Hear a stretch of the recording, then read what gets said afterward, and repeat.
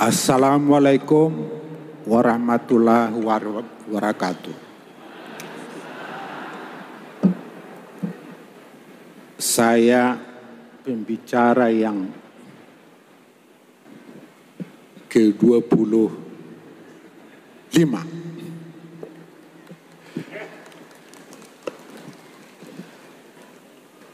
Tapi saya tidak pernah kehabisan kata tentang Al-Zaitun. Al-Zaitun dalam diri saya sudah seperti aliran darah. Sebelumnya kepada yang saya muliakan Ibu Alwidat Panji Gumilang kepada dan seluruh keluarga kepada ketua umum yayasan kepada ketua panitia segenap eksponen yayasan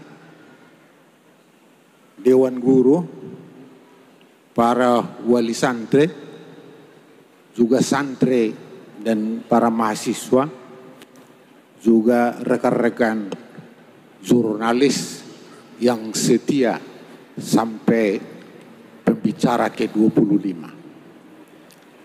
Dan yang sangat saya muliakan para tamu tokoh masyarakat bangsa Indonesia dari lintas golongan secara khusus yang juga saya, sudah saya kenal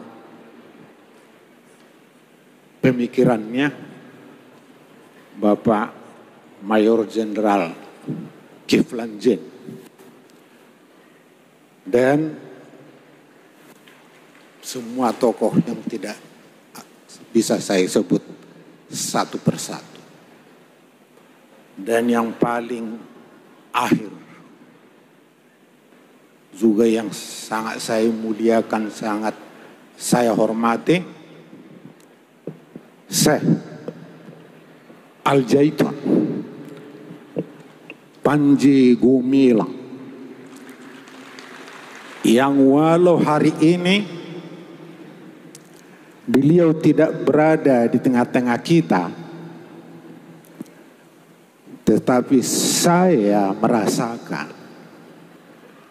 bahwa dia ada di tempat ini di dalam batin kita masing-masing.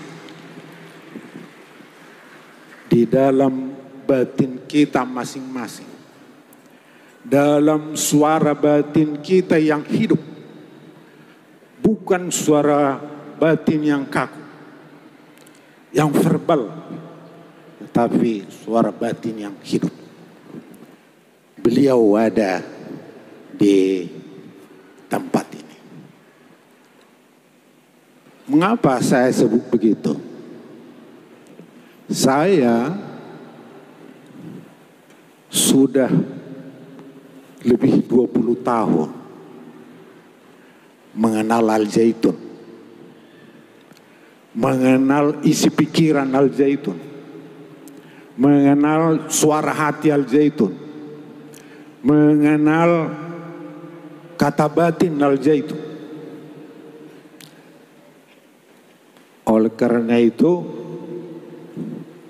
maka saya menyebut tadi, walaupun secara fisik beliau tidak di tempat ini, tapi suara batinnya bergema di hati, hati kita masing-masing juga tercermin dari semua pembicara. Itu adalah suara batin yang terdalam. Apresiasi, apresiasi kita menerima putusan yang sangat hebat. Lalu saya tanya,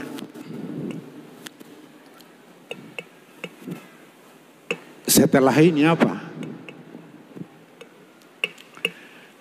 Itu pertanyaan saya. Ada beberapa saksi ya.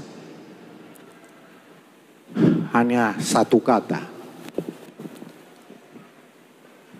Bergerak.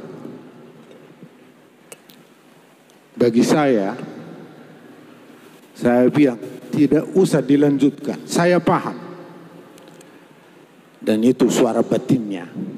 Hari ini menjadi tema sentral perayaan satu suro hari ini. Yaitu kebangkitan dari dalam. Dari dalam batin. Ini adalah kontemplasi. Pertapaan yang sangat mendalam untuk kebangkitan yang disuarakan suara hati Syekh Panji Gumilang pada hari maka ada suatu hal yang perlu saya sampaikan. Bagi mereka yang mendengar getaran suara hati Syekh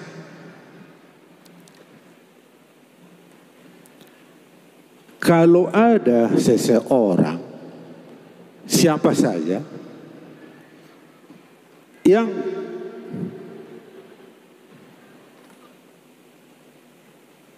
memisahkan atau mendikotomikan. Panji Gumilang secara personal dengan Al Zaitun saya bisa pastikan bahwa orang tersebut belum mengenal Panji Gumilang dan belum mengenal Al Zaitun. Itu saya pastikan. Bagi saya ketika pertama kali sebagai jurnalis datang ke sini dan meneliti semua aspek kehidupan di sini. Pertama kali yang saya tulis ialah Panji Gumilang adalah personifikasi Al-Zaitun. Panji Gumilang adalah personifikasi Al-Zaitun. Itu tantangan kita. Hari ini temanya kita diminta berkontemplasi bangkit dari dalam diri kita, untuk bangkit dari kedalaman batin kita, terutama para jemaah, dewan guru, semua eksponen Al-Zaitun. Itu adalah tuntutan integritas. Integritas yang bersuara dari suara batin yang merupakan bagian tidak terpisahkan dan harus diwujudkan dalam loyalitas yang tinggi.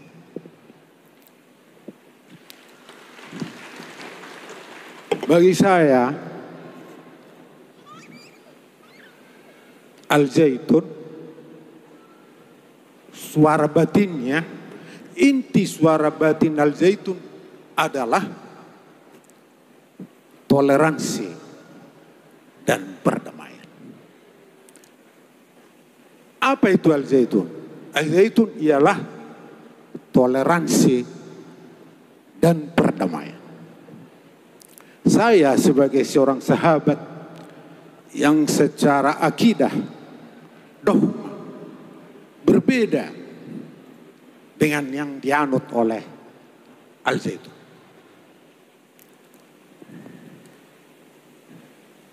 Tetapi bagi saya yang mempertemukan batin saya, suara batin saya adalah inti suara hati Al Zaitun yaitu toleransi dan perdamaian. Oleh karena itu saya mengatakan karena Al Zaitun adalah toleransi dan perdamaian, itulah batinnya yang ter, terpaling dalam, maka saya bilang saya adalah Al Zaitun. Saya adalah Al Zaitun. Dan saya adalah Pancasila. Saya juga Indonesia. Itulah sedikit yang bisa saya kemukakan. Semoga kita masing-masing dalam satu suro ini berkontemplasi, bertapa di dalam kebisuan. Ketika kita saling bisu, tetapi kita saling mengerti. Toleransi karena tadi ada meninggung, toleransi di Al Zaitun adalah toleransi dalam interaksi yang interdependen. Dalam bahasa lainnya, toleransi dalam interaksi kesetaraan. Jadi jangan salah paham. Ya. Inti al zaitun ada toleransi dan perdamaian.